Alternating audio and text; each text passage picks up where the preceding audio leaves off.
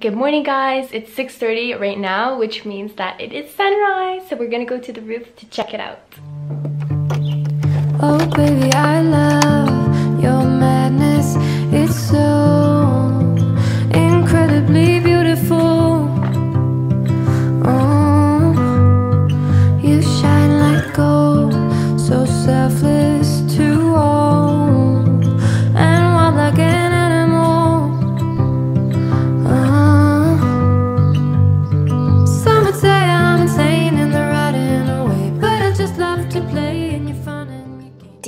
heart of the mountainous Dana Biosphere Reserve, at the end of a rugged track, an idyllic candlelit lodge rests in the magnificent Wadi Feynan.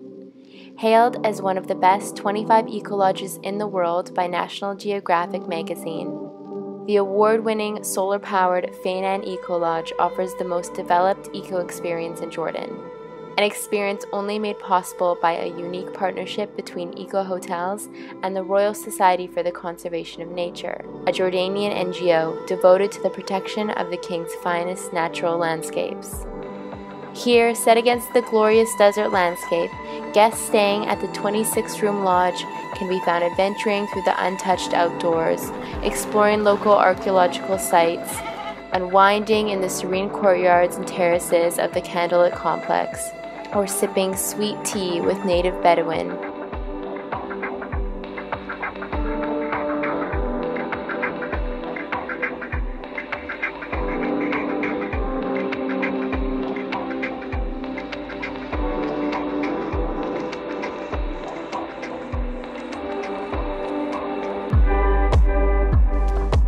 And welcome to the Feynan Eco Lodge, which is the first of its kind in Jordan. I am so excited to share this with you because it's really been a truly amazing experience. Behind me are so many goats and I can tell you from our drive in, we saw so many herds of these beautiful animals and coming here has been so special to be able to see herds of goats outside your window. Of course, a lot of kitty friends and we even found a dog and this morning I woke up to wolves, the, the sound of them anyway. So it's been truly amazing experience. So what makes the Eco Lodge special? So like I mentioned, this is the first of its kind in Jordan and everything here is powered by solar energy. So there's solar panels all over the roof, which is amazing because you can still have hot showers here because the water is heated and also the energy from the solar panels themselves are put into batteries for storage. So you do have a light in your in your bathroom in the evening, but other than that, the entire Eco Lodge is lit by candles. And immediately coming here, I felt so serene and so at peace and so calm. It's been so wonderful. And just to have candles around you just creates the most amazing ambiance. And let me tell you the amount of stars I saw in the sky last night was absolutely incredible. Because if you come to Jordan this can't be missed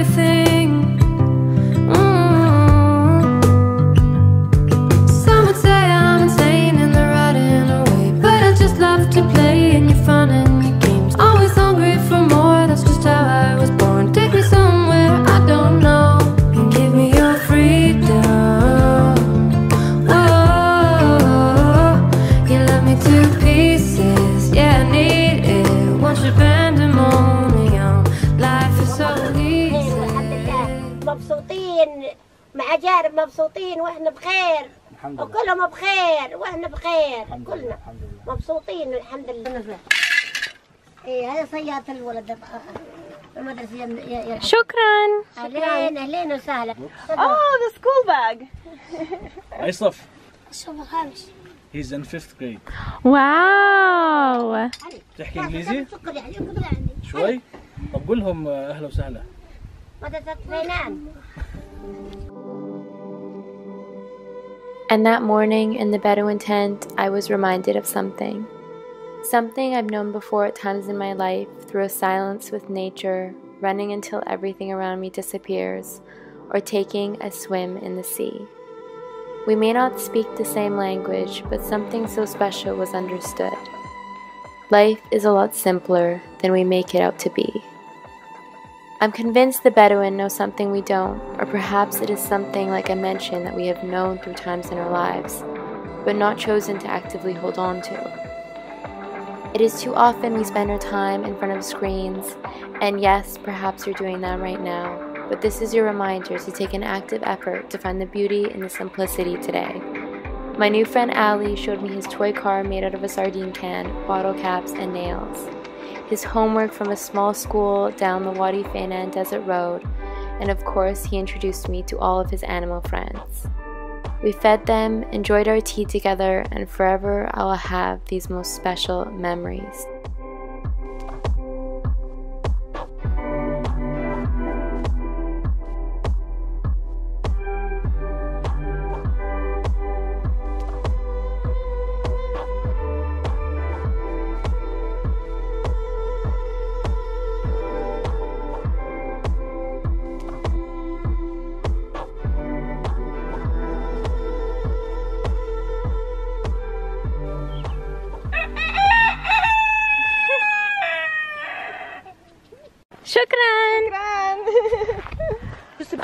A love. Just Yeah. so just It was truly so amazing to spend the morning in the Bedouin tent with the family and to meet our new friend Ali, who is in grade five and hopes to be a teacher one day and who actually knows some English. It was, it was so heartwarming. Honestly, the hospitality of everyone in Jordan has been incredible.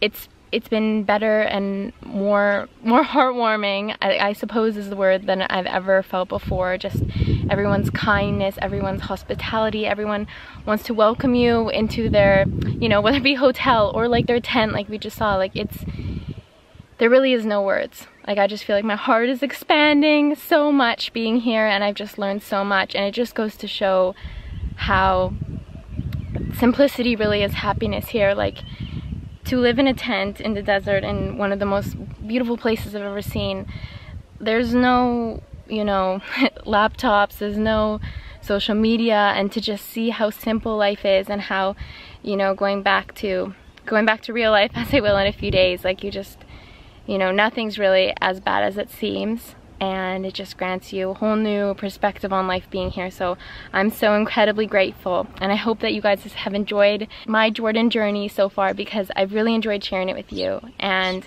I hope you've enjoyed meeting lots of new friends along the way because I know I have and yeah, just so heartwarming to see people live side by side but with the animals and just live in so much peace and tranquility because you really feel it here and I'm so happy to have been able to share it with you.